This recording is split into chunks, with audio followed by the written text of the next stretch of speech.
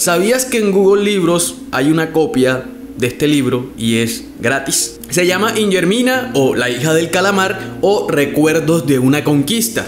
¿Y por qué es importante que tú y yo sepamos de la existencia de esta novela o por lo menos tengamos nociones de su contenido? Y es que estamos hablando de la primera novela de la que se tenga registro en nuestro país.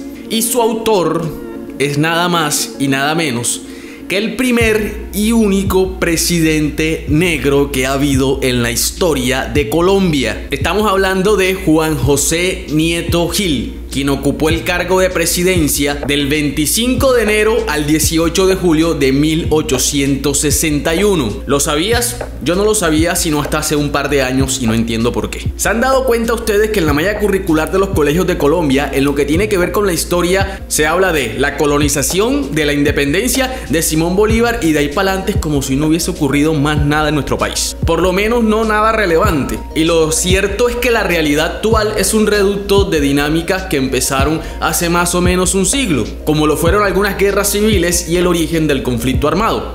Pero volvamos a Juan José Nieto Gil. Sabemos por historiadores que era negro, pero la imagen que encontramos de él, el retrato que se conoce de él, es más bien la cara de un tipo blanco o que no tiene rasgos de una persona con ascendencia afro. Entonces, ¿qué fue lo que pasó? Nieto Gil nació en un corregimiento de Baranoa, hoy municipio Atlántico. Era un autodidacta escritor, aprendió a escribir y a leer por su cuenta a la edad de los 12 años. Un general con motivaciones políticas, representante a la Cámara, gobernador de Bolívar en diferentes ocasiones y presidente constitucional de la Confederación Granadina, lo que en ese entonces era Colombia. Él fue el que abolió la esclavitud en nuestra región fecha que hoy se conmemora como el Día de la Afrocolombianidad. El tema fue que su retrato como presidente no fue exhibido en la galería donde aparecen el resto de presidentes. Es más, nunca se le reconoció en la historia como si se hizo con los demás. La élite de aquel entonces tomaron el cuadro, lo mandaron a Francia para que lo arreglaran y regresaron a un Juan José Nieto Gil con facciones refinadas